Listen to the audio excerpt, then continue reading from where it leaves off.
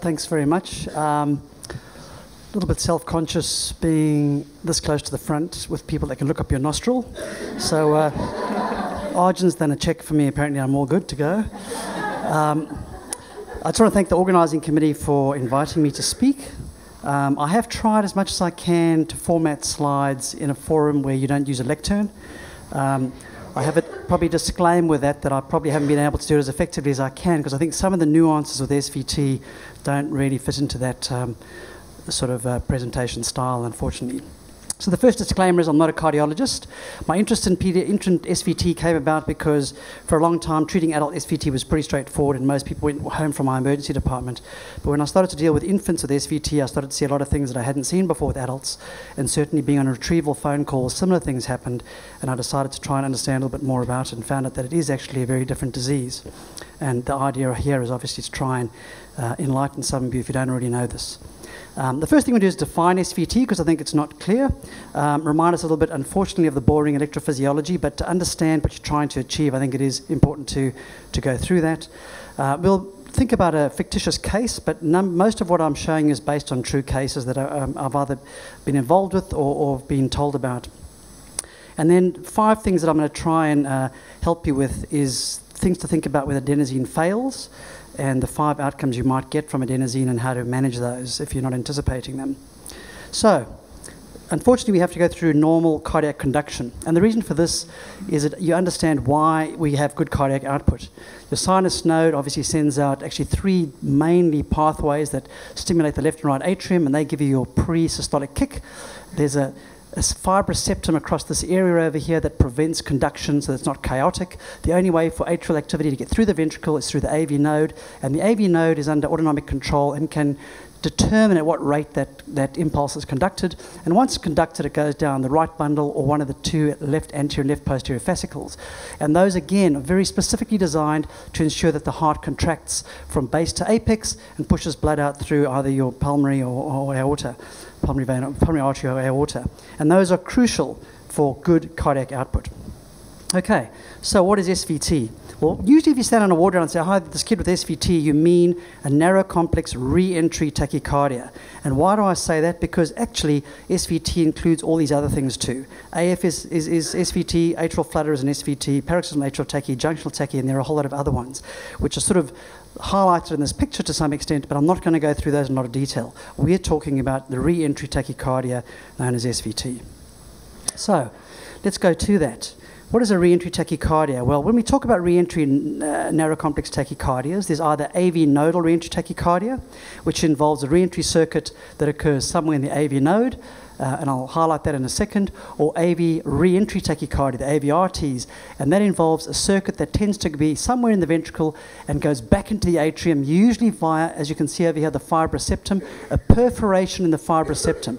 Now the fibrous septum is, is as I said, fibrous and non-conducting, and all an accessory pathway is, as exciting as it sounds, is simply a perforation of that with normal atri atrial ventricular tissue, usually sodium-based tissue, not calcium-based tissue.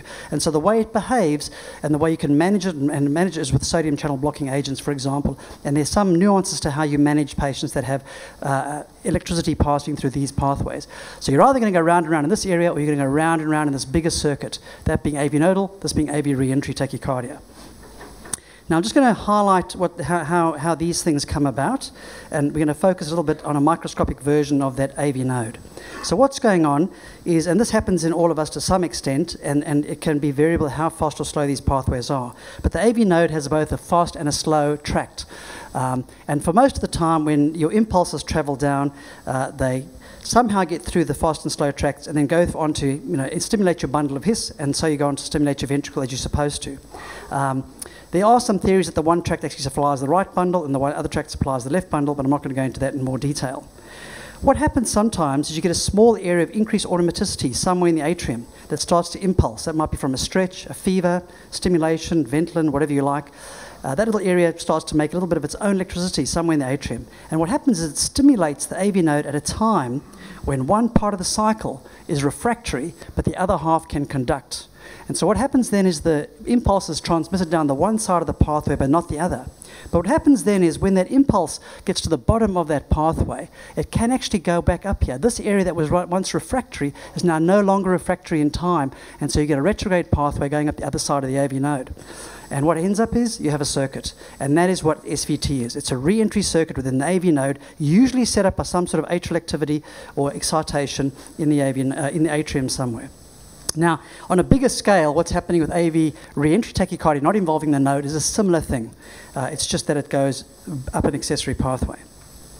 Okay, so we've talked about that, and why it's important is adults, 80% of the time, have just that nodal reentry tachycardia going on. But infants, 80% of the time, if not more, somewhere between 70 and 90, actually utilize the uh, accessory pathway. They've got a perforation somewhere in their septum, usually the bundle of uh, uh whatever the uh, Wolff Parkinson White, um, which is where they, there's a sort of defect in the left lateral part of the ventricle, and they go through that area there most of the time. And I'll show you why this is important. Just to go on the aim of treatment, we've got two circuits here, either the AV nodal reentry or the AV reentry tachycardia. Both use the AV node either way. How do we treat? We do something that stops conduction through the AV node. That's what we're trying to do. Stop the AV node so that we pause this process and hope that in the interim, the, A, the SA node takes over again as the primary pacemaker. Okay, so think about a case, four-month-old male, short of breath, poor feeding for two days. Local doctor thought maybe bronchiolitis, not unreasonably, sent them in for assessment. An astute triage nurse finds that the pulse rate is 260 with some pulse oximetry and puts them into your resuscitation bay. And this child looks pink and well and stable, and that's what their monitor looks like approximately. Okay, so this is what you'd probably expect to see on the monitor.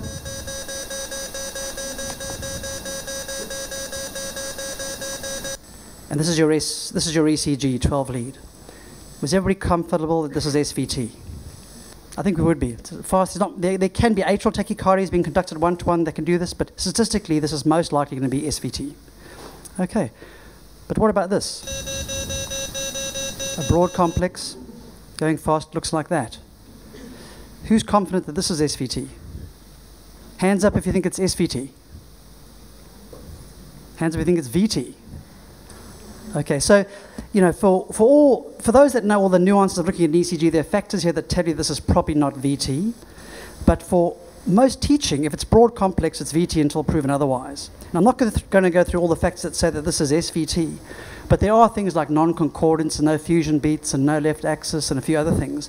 But the important thing is statistics and understanding whether you're dealing with a normal heart in a, in a child or some sort of congenital heart disease. And if this is a normal child, then what's happening is they've got um, a, a retrograde conduction through their AV node going through the accessory pathway. And what I mean by that is we've already talked about the fact that AV reentry tachycardia is sort of this normal path where you stimulate your ventricles in the normal way and go back up through this pathway. But what can happen, and will happen a lot in pediatrics up to 5% of the time, is it can be going the other way called orthodromic conduction. And it'll then, because it stimulates the ventricle initially from this left uh, ventricular tissue, its depolarization across the right and left ventricles make it broad complex. But the important thing to understand is, as I've said over there, most uh, broad complex tachyarrhythmias in infants are still SVT, 95%. And that's really the first take home message on just looking at SVT in pediatrics, but in infants, should I say, that the broad complex is going to be SVT most of the time. Now, congenital heart disease and other congenital other disease, heart disease aside, you have to take that into account. So back to our child who's stable. We're going to talk about what to do next. Physiological reversion. Now, to understand the diving reflex, I first have talked about Valsalva. So, what is Valsalva? Well, this is the way I like to do Valsalva in a person who can cooperate, and it's not the way this this this group did it. But I, am going to pretend that in his hand he has a little pipe, and that pipe is attached to that sphygmomanometer that you see in the foreground over there. And you ask the patient to blow in, get the the measure the, the, the sphygmomanometer blow up to 40 milliliters of mercury, and you let them do that for 15 seconds. What's happening while that's going on? Well, initially when you squeeze on the heart, you get a bit of increased output, a little bit of stimulus of your carotid and other baroreceptors, and you get a little bit of increase in blood pressure. But then with sustained pressure, what tends to happen is your blood volume is being trapped in your lower limbs and up in your head with distended neck veins and below your diaphragm, and you're running out of blood. So what does the, uh, the, the atrium do? It starts to pump, it starts to recognize this, and you start to get a stimulation where the heart gets faster and faster, pumps harder and harder, faster and faster, harder and harder. Your blood pressure is dropping, faster and faster, harder and harder. Then you suddenly release, and this primed myocardium allows all this blood to rush back into it, and it smashes the left side of your heart.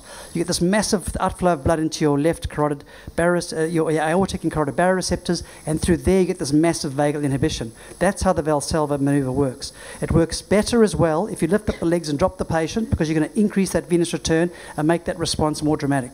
So, why is this description important for understanding the diving reflex? Well, it's important because a baby can't do Valsalva. I mean, they might when they cry, and we know that happens. But the diving reflex probably has two actions. The first is pretty much what we've already seen.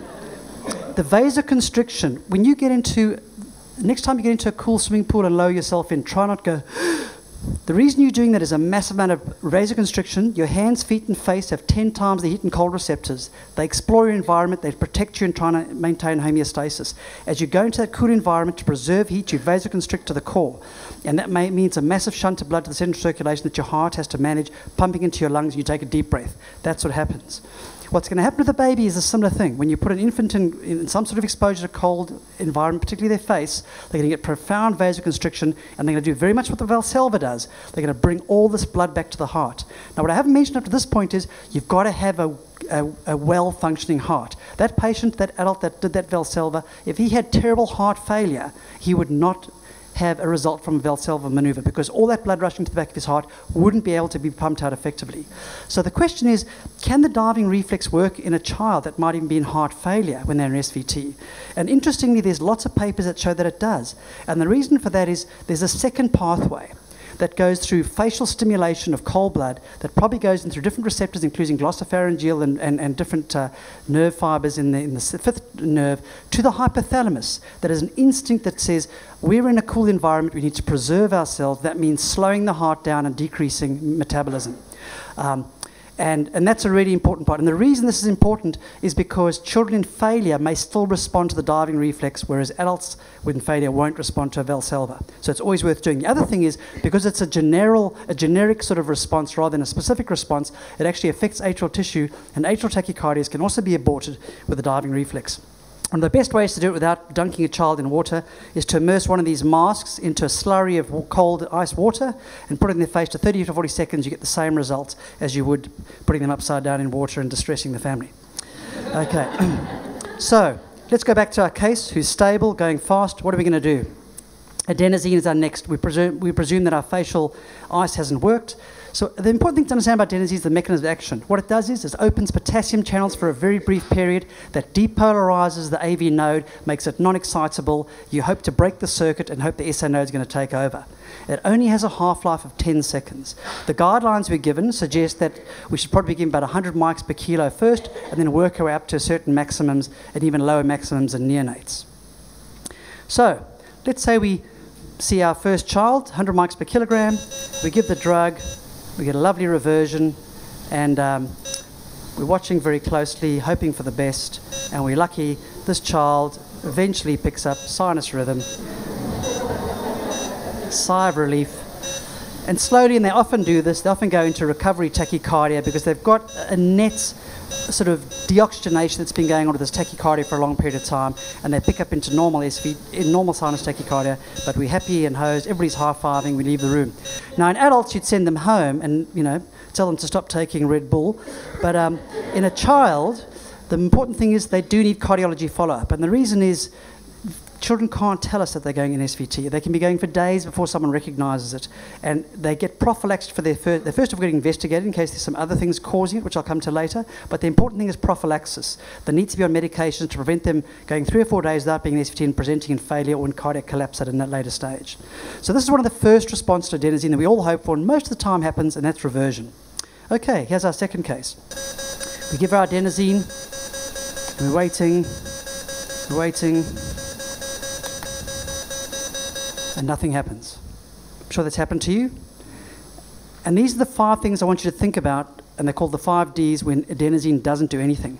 The first thing is delivery.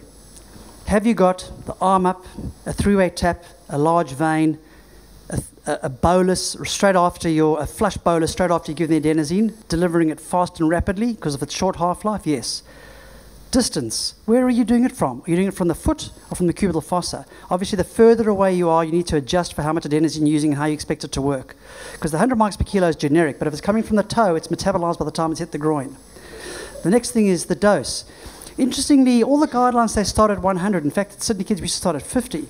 But um, the studies will suggest that most needed an average of 170 to 200 to revert. And so I think particularly if you're not in a big fat cubital fossa vein and you're starting beyond that, go with 200 mics per kilo up front.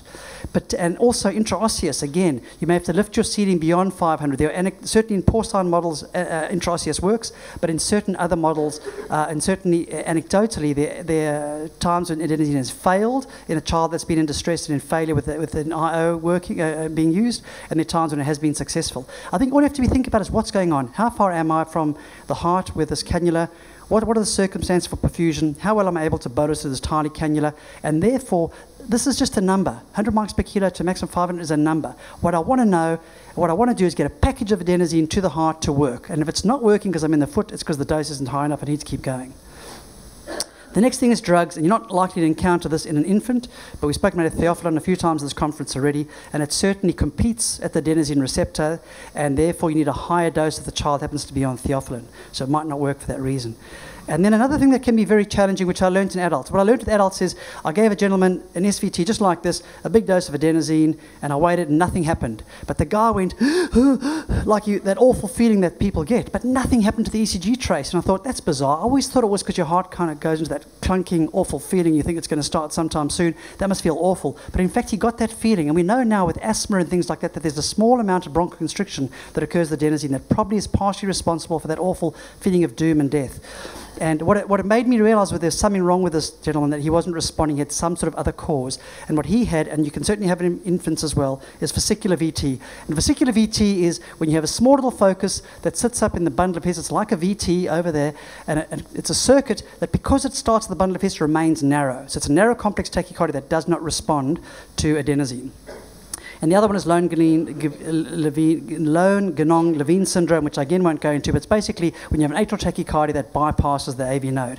So when you're doing repeated doses from a cubital fossa and the baby's not responding, infant's not responding, there's probably an alternative diagnosis you need to think about as well. So those are my five Ds.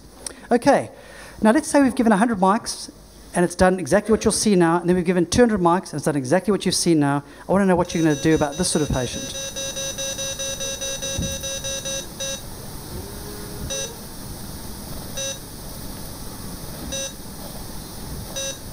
Almost half farming, about to leave. Bugger. And this has happened twice. So the question is, what do you do with this group? And these are called the recurrence or a triggering group. And the important thing here, as we've already discussed, is that these are triggered often by some sort of area of increased automaticity in the atrium. I'm not going to talk about incessant SVT, but it is pe- peculiar and particular to infants where the SA node can actually be responsible for re-triggering all the time just because of the nature of the fast and slow pathway in the AV node. But the important thing to notice is it's, there's no point often going on and on and on giving adenosine, watching that long pause, and then just go back into SVT. What you need to do is treat the thing that's triggering it. And uh, usually that regards, requires second agent. So if I just go through that... Uh, that strip once more and just point out when you're watching this go by, what you see here is little areas of increased atrial automaticity, these little things popping up.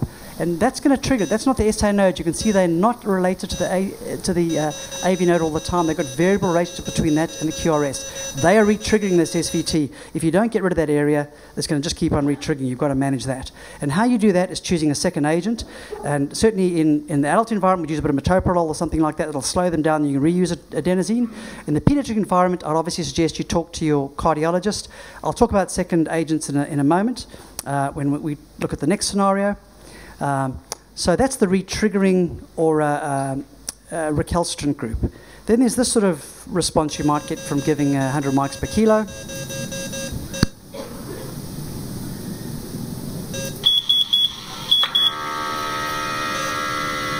Uh, this is the wrong one. Hmm. Don't know how that happened we changed something this morning, and I apologise. What that one actually showed was um, atrial flutter hiding behind SVT, which means you expose a, tach- uh, an atrial tachyarrhythmia. So essentially, you see the, uh, the, the, the pause stop, you see an atrial tachycardia behind it. There's no point going on and slamming that child with more adenosine. What you have to recognize is there's an atrial tachycardia going on, which is sitting up here somewhere. It might be um, in the uh, a flutter which might be up in the coronary sinus, or it might be atrial fibrillation, or it might be paroxysmal atrial tachycardia. But that is what's being conducted through the AV node, looking like SVT. But when you actually ablate the AV node, all you see is this background atrial tachycardia going on. Um, and that's really important to recognize because once again, we don't treat the SVT anymore, the AV node. We treat this, we treat the uh, atrial tachycardia usually with a second line agent or therapy. Now, the other therapies might involve cardioversion. They might involve uh, um, overdrive pacing. Um, as far as second line agents go, interesting. When I looked, because I, I, was always intrigued, you know, we're quite free with amiodarone and, and sotalol and these sort of drugs in pediatric, in, in, in adults. But um, when I looked up the, the, data and literature on it, amiodarone is a pretty scary drug in infants. That it's, uh, if it's given slowly and, and, and at a lowish dose, it's great, but it's not effective. And if it's given at the right dose, more rapidly, it's effective, but has a high side effect profile, which include you know, hypertension collapse, which none of us want. Um, Sotalol is probably the preferred drug at Sydney Kids with our cardiologists. Again, it's a, it, it cardioverts as well as rate controls. Sometimes with this group, all you're trying to do is rate control them. You don't want them going at 280. You might not get rid of the arrhythmia. You just want them somewhere in the 200 range, A180 to 200 range, and these drugs can do that for you. You have to obviously think about whether they've got underlying congenital heart disease or heart failure first, and that's why you'd have a discussion with your cardiologist because some of them might warrant an echo, or you might have to tread very gently with, with, with guidance. So. Um, Okay, so what's happened now is, uh, and I'm not sure why this happened, but that's all right. I'll go back to that other one because that's the, uh, that's the one that should go along with the next slide, and I apologize for this. I'm hoping it's going to work. So this will apply to the very last slide. Um, you get this patient. So you've given them the adenosine, and you've got a, this is time-lapse camera. This is going fast. So a minute here is five seconds. What I'm demonstrating is this child recovers to sinus rhythm. Their blood pressure initially was sort of in the 90 range. And you look now, and it's dropped to 56 on 28. And your sats are starting to drop because they're developing pulmonary edema and heart failure. And I don't know if that's ever happened to you, but this has happened to me on two occasions. And uh, we're going to find out very quickly why that happens by just going quickly past it, and I apologize for that. And this is where you sometimes unmask conge- congestive cardiac failure. So there's a number of reasons this might happen. Up to children with congenital heart disease, up to 25% may present with SVT. And so this might be your coarctation of the aorta or your patent, your PDA, etc., presenting in the first few weeks or months of life that you've missed. There's also tachyopathy-induced CCF. Children that have been going at, at 280 for more than 48 hours, about half of them will be in failure when they present if they've been going for more than 48 hours. For a number of reasons, the myocardium doesn't enjoy this, doesn't get good perfusion, and, uh, the, and even though you get them back, their, their rate is what's keeping them going. When you take that rate away and they're back to 120, 140, their normal rate, they've got this floppy myopathic, tachymyopathic myocardium that doesn't recover very well. They may also have myocarditis or cardiomyopathies as congenital heart disease or things that are acquired. And very rarely, they may even deteriorate into VT and VF. There are some, some uh, articles saying that that may occur. So you need to be ready for this sort of occurrence. So I'm just going to summarize with adenosine, you've got five responses, either reversion, which most of the times what happens and we hope for, but there may be the non-response, spoken about the five Ds. There's reversion with no tachycardic arrhythmia, but re-triggering, and you need to treat the re-triggering. There's atrial tachyarrhythmias that get unmasked, and you need to treat the atrial tachyarrhythmia.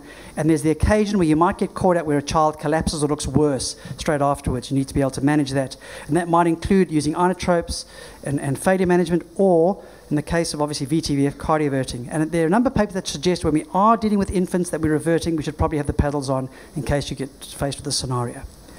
Okay, thanks very much. I'll leave that on to talk about because I've gone way over time, I think. Uh, we did run late today, so some, uh, thank you.